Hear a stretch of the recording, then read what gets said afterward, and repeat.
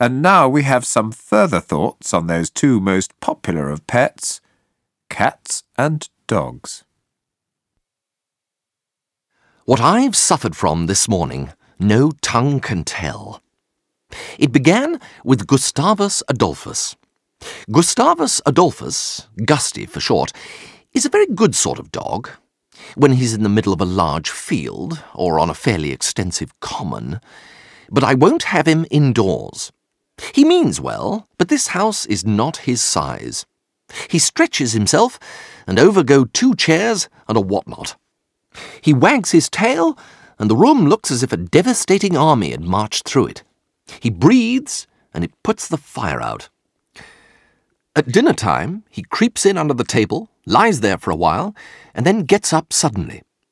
The first intimation we have of his movements being given by the table, which appears animated by a desire to turn somersaults. We all clutch at it frantically and endeavour to maintain it in a horizontal position. Whereupon his struggles, he being under the impression that some wicked conspiracy is being hatched against him, become fearful, and the final picture presented is generally that of an overturned table and a smashed up dinner, sandwiched between two sprawling layers of infuriated men and women. He came in this morning in his usual style, which he appears to have founded on that of an American cyclone, and the first thing he did was to sweep my coffee cup off the table with his tail, sending the contents full into the middle of my waistcoat. I rose from my chair, hurriedly, and approached him at a rapid rate. He preceded me in the direction of the door.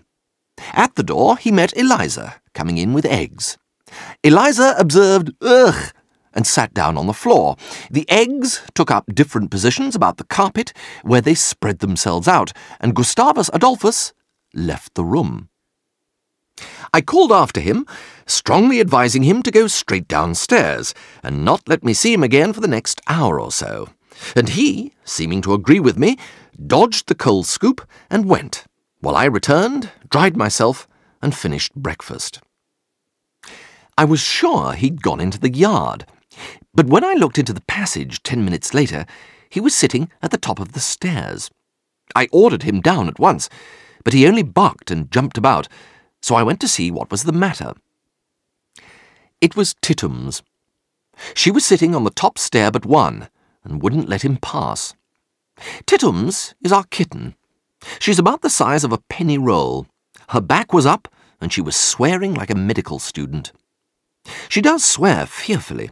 I do a little that way myself sometimes, but I'm a mere amateur compared with her. To tell you the truth, I think it does a man good to swear. Swearing has the same soothing effect upon our angry passions that smashing the furniture is so well known to exercise, added to which it's much cheaper. I rather distrust a man who never swears, or savagely kicks the footstool, or pokes the fire with unnecessary violence. Without some outlet, the anger caused by the ever occurring troubles of life is apt to rankle and fester within. Swearing relieves the feelings. I explained this to my aunt on one occasion, and she said I had no business to have such feelings. That is what I told Tittums. I told her she ought to be ashamed of herself, brought up in a Christian family as she was, too. I don't so much mind hearing an old cat swear, but I can't bear to see a mere kitten give way to it. I put Tittums in my pocket and returned to my desk. I forgot her for the moment, and when I looked, I found that she'd squirmed out of my pocket onto the table and was trying to swallow the pen. Then she put her leg into the inkpot and upset it. Then she licked her leg, and then she swore again, at me this time. I put her down on the floor, and there Tim began rowing with her. I do wish Tim would mind his own business. It was no concern of his what she'd been doing. Besides, he's not a saint himself. He's only a two-year-old fox terrier, and he interferes with everything, and gives himself the airs of a grey-headed Scotch collie. Tittums's mother has come in, and Tim has got his nose scratched, for which I'm remarkably glad. I've put them all three out in the passage, where they are fighting at the present moment. I'm in a mess with the ink, and in a thundering bad temper. And if anything more in the cat or dog line comes fooling about me this morning, it had better bring its own funeral contractor with it. Yet, in general, I like cats and dogs very much indeed. What jolly chaps they are. They're much superior to human beings as companions. They do not quarrel or argue with you. They never talk about themselves, but listen to you while you talk about yourself, and keep up an appearance of being interested in the conversation. They never make stupid remarks. They never say unkind things. They never tell us of our faults merely for our own good. They do not, at inconvenient moments, mildly remind us of our past follies and mistakes. They do not say, Oh, yes, a lot of use you are, sarcastic like. They never inform us, like our inamoratas sometimes do, that we're not nearly so nice as we used to be. We're always the same to them. They're always glad to see us. They are with us in all our humours. They are merry when we're glad, sober when we feel solemn, sad when we are sorrowful. When we bury our face in our hands and wish we'd never been born, they don't observe that we've brought it all upon ourselves. They don't even hope it'll be a warning to us, but they come up softly and shove their heads against us. If it is a cat, she stands on your shoulder, rumples your hair, and says, Lor, I am sorry for you, old man, as plain as words can speak. And if it's a dog, he looks up at you with his big, true eyes and says with them, well, you've always got me, you know. We'll always stand by each other, won't we? He's very imprudent, a dog is. He never makes it his business to inquire whether you're in the right or in the wrong, never bothers as to whether you're going up or down upon life's ladder, never asks whether you're rich or poor. You're his pal. That's enough for him, and come luck or misfortune, he's going to stick to you, to comfort you, guard you, give his life for you, if need be. Foolish, brainless, soulless dog. Cats have the credit of being more worldly wise than dogs, of looking more after their own interests, and being less blindly devoted to those of their friends. Cats certainly do love a family that has a carpet in the kitchen more than a family that has not, and if there are many children about, they prefer to spend their leisure time next door. But taken altogether, Cats are libelled. Make a friend of one, and she will stick to you through thick and thin. All the cats that I've had have been most firm comrades. I had a cat once that used to follow me about everywhere, until it even got quite embarrassing, and I had to beg her, as a personal favour, not to accompany me any further down the high street. She used to sit up for me when I was late home, and meet me in the passage. It made me feel quite like a married man, except that she never asked where I'd been, and then didn't believe me when I told her. I wish people could love animals without getting maudlin over them, as so many do. Women are the most hardened offenders in such respect.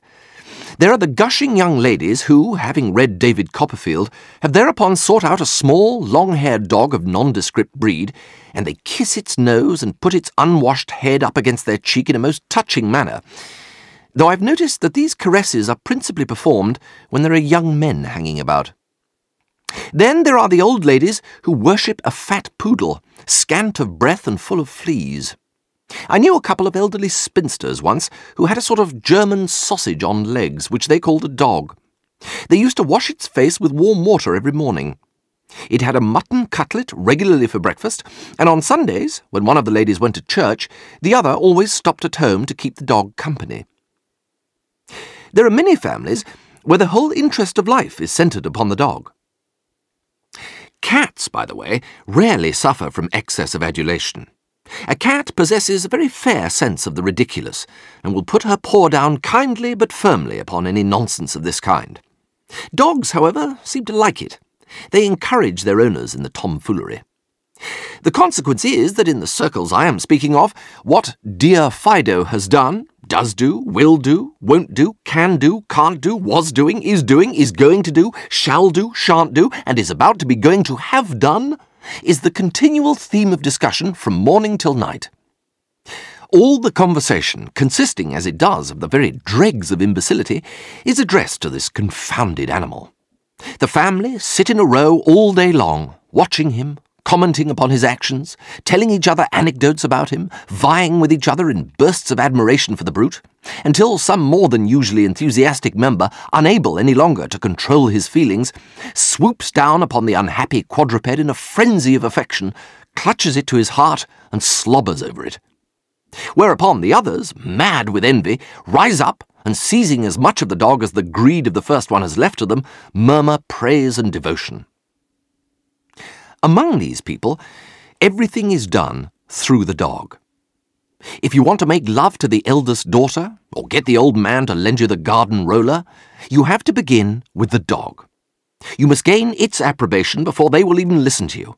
And if, as is highly probable, the animal, whose frank, doggy nature has been warped by the unnatural treatment he has received, responds to your overtures of friendship by viciously snapping at you, your cause is lost forever.